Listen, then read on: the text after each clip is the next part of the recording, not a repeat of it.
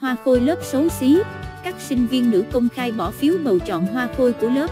Tiểu Mai là người có dung mạo bình thường nhưng cô đã đứng ra nói mọi người rằng, nếu như tôi được chọn, qua vài năm sau, các chị em ngồi ở đây có thể tự hào mà nói với chồng của mình rằng, hồi em học đại học, em còn xinh đẹp hơn cả hoa khôi trong lớp cơ đấy.